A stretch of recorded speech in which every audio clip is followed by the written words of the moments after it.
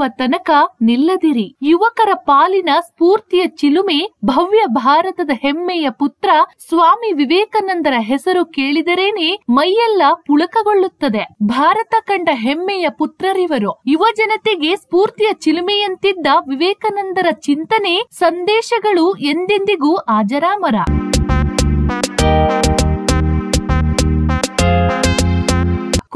ಕೋಲ್ಕತ್ತಾದ ವಿಶ್ವನಾಥ ದತ್ತ ಮತ್ತು ಭುವನೇಶ್ವರಿ ದೇವಿ ದಂಪತಿ ಪುತ್ರನಾಗಿ ಸಾವಿರದ ಎಂಟುನೂರ ಅರವತ್ಮೂರು ಜನವರಿ ಹನ್ನೆರಡರಂದು ಜನಿಸಿದ ನರೇಂದ್ರನಾಥ ದತ್ತ ಬಳಿಕ ವಿವೇಕಾನಂದ ಎಂಬ ಹೆಸರಿನಿಂದ ಖ್ಯಾತಿ ಗಳಿಸಿದರು.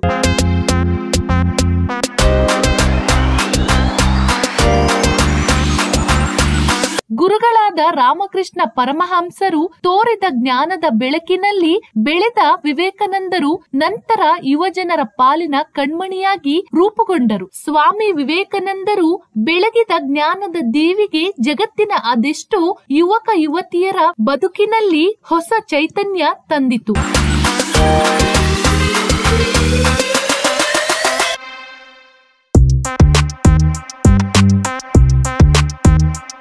ಸಾವಿರದ ಎಂಟುನೂರ ತೊಂಬತ್ಮೂರು ಸೆಪ್ಟೆಂಬರ್ ಹನ್ನೊಂದರಂದು ಅಮೆರಿಕದ ಚಿಕಾಗೋದಲ್ಲಿ ಸ್ವಾಮಿ ವಿವೇಕಾನಂದರು ಮಾಡಿದ ಐತಿಹಾಸಿಕ ಭಾಷಣ ಭಾರತದ ಇತಿಹಾಸದ ಪುಟಗಳಲ್ಲಿನ ಮರೆಯಲಾಗದ ಕ್ಷಣ, ವಿಭಿನ್ನ ಜಾತಿ, ಮತಗಳ ಮಾನವ ಸಂಕುಲವನ್ನು ಒಂದೇ ಗೂಡಿನಲ್ಲಿ ಘೋಷಿಸುತ್ತಿರುವ ಭಾರತವನ್ನು ಪ್ರತಿನಿಧಿಸಿ ವಿವೇಕಾನಂದರು ಮಾಡಿದ ಭಾಷಣ ಭಾರತೀಯರಲ್ಲಿ ಸ್ವಾಭಿಮಾನವನ್ನು ಬಡಿದೆಬ್ಬಿಸುವಂತಹದು ಅಂದು ಅಮೆರಿಕದ ನನ್ನ ಸಹೋದರ ಸಹೋದರಿಯರೇ ಎನ್ನುತ್ತಲೇ ಮಾತು ಆರಂಭಿಸಿದ ಸ್ವಾಮಿ ವಿವೇಕಾನಂದರು, ಭಾರತದ ಸಂಸ್ಕೃತಿ, ಸಿರಿವಂತಿಕೆ, ಜ್ಞಾನ, ಧರ್ಮ ಇವೆಲ್ಲದರ ವಿರಾಟ್ ರಾಯಭಾರಿಯಂತೆ ಕಂಡಿದ್ದರು. ತಮ್ಮ ಚಿಂತನೆಗಳು ಸಮಾಜವನ್ನು ತಿದ್ದುವ ಸಂದೇಶಗಳ ಮೂಲಕವೇ ಅಂದು ಸ್ವಾಮಿ ವಿವೇಕಾನಂದರು ವಿದೇಶಿಯನ್ನರ ಮನಗೆದ್ದಿದ್ದರು. ಸ್ವಾಮಿ ವಿವೇಕಾನಂದರ ಮಾತುಗಳನ್ನು ವಿದೇಶಿಗರು ತದೇಕ ಚಿತ್ತದಿಂದ ಆಲಿಸುತ್ತಿದ್ದರು.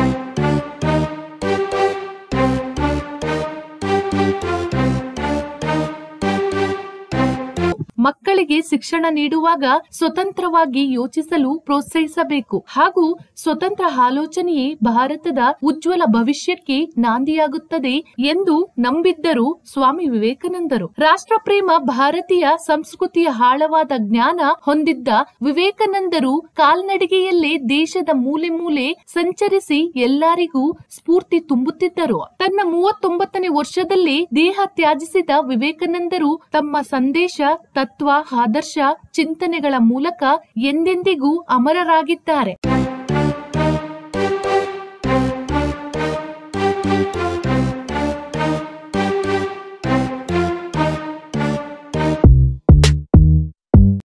ಸನ್ಯಾಸಿಯೊಬ್ಬರ ಜನ್ಮದಿನವನ್ನಾಗಿ ಆಚರಿಸುವುದೇ ಸ್ವರಾಸ್ವಾಕರವಾಗಿದೆ ಹೆವ್ವನ ಎಂದರೆ ಶಕ್ತಿಯ ಅಪರಿಮಿತ ಪ್ರವಾಹ. ಆದರೆ ಸನ್ಯಾಸ ಎನ್ನುವುದು ಇದಕ್ಕೆ ತತ್ವಿರುದ್ಧವಾದ ಸ್ಥಿತಿ ಶಕ್ತಿಯ ಎಲ್ಲಾ ಮೂಲಗಳನ್ನು ಸಮಯದಲ್ಲಿ ನಿಗ್ರಹದಲ್ಲಿ ನಿಲ್ಲಿಸಿಕೊಳ್ಳುವ ಸಾಧನ ಮಾರ್ಗವೇ ಸನ್ಯಾಸ. ಸಾವಿರದ ಎಂಟುನೂರ ಎಂಬತ್ತೆಂಟರಲ್ಲಿ ನರೇಂದ್ರರು ಭಾರತದ ಪರ್ಯಟನೆಗೆ ಹೊರಟರು. ಅವರು ಪರ್ಯಟನೆಗೆ ಹೋಗುವಾಗ ಅವರ ಜೊತೆಗೆ ಕಮಂಡಲು ತಂಡ ಮತ್ತು ಅವರಿಗೆ ಪ್ರಿಯವಾದ ಭಗವದ್ಗೀತೆ ಹಾಗೂ ಮತ್ತೊಂದು ಪುಸ್ತಕವನ್ನು ಜೊತೆಗೆ ಇಟ್ಟುಕೊಂಡು ಸತತವಾಗಿ ಐದು ವರ್ಷಗಳ ಕಾಲ ಭಾರತವನ್ನು ಸಂಚರಿಸಿದರು.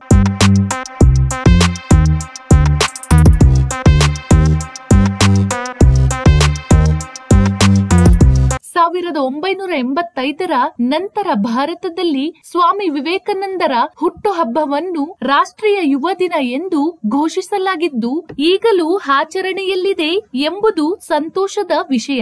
ಎಲ್ರಿಗೂ ನನ್ನ ನಮಸ್ಕಾರ. ನಾನು ನಿಮ್ಮ ಧರ್ಮ. ಈಗ ಹೊಸದಾಗಿ ಸಂಪೂರ್ಣ ನ್ಯೂಸ್ ಅಂತ ಯೂಟ್ಯೂಬ್ ಚಾನೆಲ್ ಓಪನ್ ಆಗಿದೆ. ಇದರಲ್ಲಿ ಒಳ್ಳೆ ಒಳ್ಳೆ ನ್ಯೂಸ್ಗಳು ಬರುತ್ತೆ. ನಮ್ಮ ಸಿನಿಮಾ ಬಗ್ಗೆ ಆಗಲಿ, ಕಿರುತೆರೆ ಬಗ್ಗೆ ಆಗಲಿ, ಎಲ್ಲದ್ರ ಬಗ್ಗೆನೂ ಭಾಳ ಚೆನ್ನಾಗಿ ನಾನು ನೋಡ್ತಾ ಇದ್ದೀನಿ ನ್ಯೂಸ್ ಬರ್ತಿದ್ದೆ ನಾನು ಸಬ್ಸ್ಕ್ರೈಬ್ ಆಗಿದ್ದೀನಿ. ಆದಷ್ಟು ಬೇಗ ಎಲ್ಲರೂ ಸಬ್ಸ್ಕ್ರೈಬ್ ಆಗಿ, ಇವ್ರಿಗೆ ಸಪೋರ್ಟ್ ಮಾಡಿ. Thank you